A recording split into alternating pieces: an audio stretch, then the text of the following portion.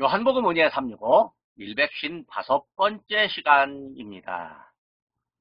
먼저 찬송가 462장 생명진리 은혜 되신 찬양사역자 이종진 목사님의 찬양으로 함께 은혜 받겠습니다.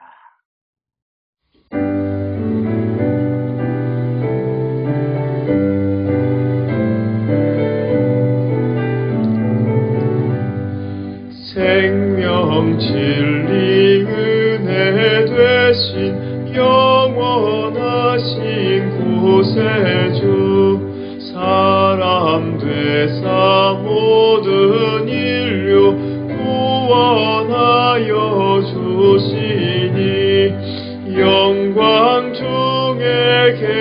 신 주님 그 신은혜 베푸사 사랑으로 채우시고 우리 고쳐주소서.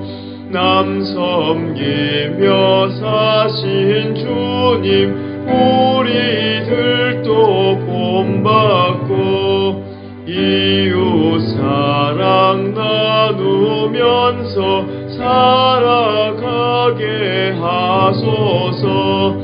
온 세상의 금은보와 모두 주의 것이니 책임 맡은 일꾼으로 충성하게 하소서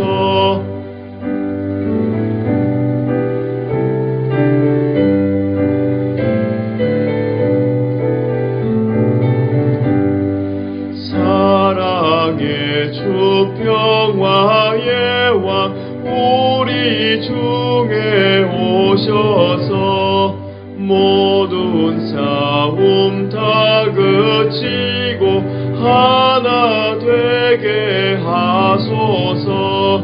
지난 날의 어둠과 환란 풍파 지나고 형제 사랑 밝은 장래 이루어지게 하소서 행진하는 주의 머리 빈부귀천 없으니 한마음으로 봉사하고 같은 주님 모시네. 우리에게 하나 되라. 본부하신 주시여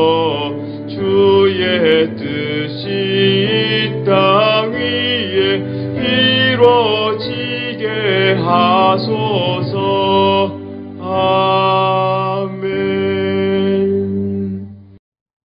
아멘. 오늘의 말씀 요한복음 8장 31절부터 33절까지의 말씀입니다. 그러므로 예수께서 자기를 믿은 유대인들에게 이르시되 너희가 내 말에 거하면 참으로 내 제자가 되고 진리를 알지니 진리가 너희를 자유롭게 하리라.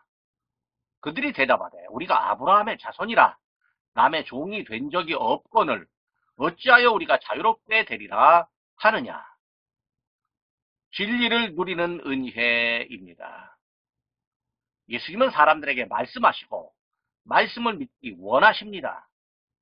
말씀을 믿는다는 것은 말씀 안에 사는 일입니다.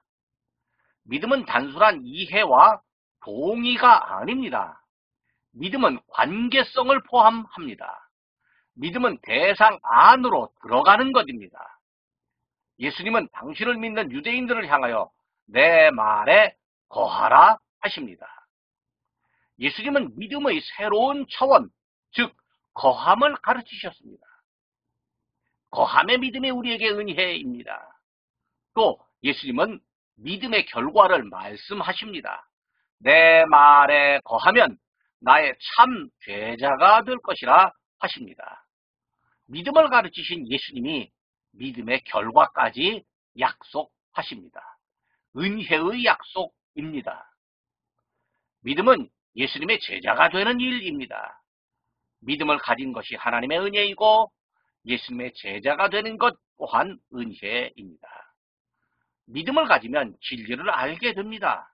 여기 진리를 안다는 것은 진리를 경험하고 진리 안에서 사는 삶입니다. 또 진리가 믿음을 가진 사람을 자유하게 합니다. 예수님은 믿음의 사람들에게 진리를 알게 하는 은혜를 주셨습니다. 그리고 진리를 아는 사람들에게 자유를 허락하십니다. 진리를 알기에 진리 아닌 어떤 것에도 얽매이지 않습니다.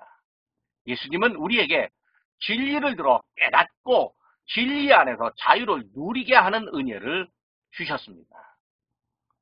사람들은 예수님의 말씀을 듣고 의아스럽게 생각했습니다. 자기들은 아브라함의 자손들이고 지금까지 남의 종이 된 적이 없었는데 더 이상 무슨 자유가 필요하겠느냐라고 합니다. 그러나 이스라엘은 애굽에서 종된 적이 있었습니다.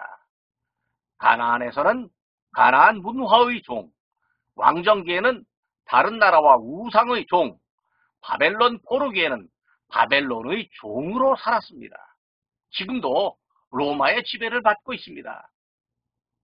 게다가 사람들이 율법의 종이 되어 있습니다. 자기의 종됨을 깨달아야 진리와 자유가 필요함을 알게 됩니다. 예수님 말씀을 듣고 진리의 자유를 얻었다면 그것이 곧 은혜입니다. 주님은 우리에게 진리를 누리는 은혜를 허락하셨습니다. 기도하겠습니다. 주님 저희에게 말씀하시고 말씀 안에 거하는 은혜를 주시니 감사합니다. 진리를 알아 자유하게 하시는 은혜에 감사합니다. 사람들에게 참 진리를 누리는 은혜를 허락하옵소서. 예수님의 이름으로 기도합니다. 아멘.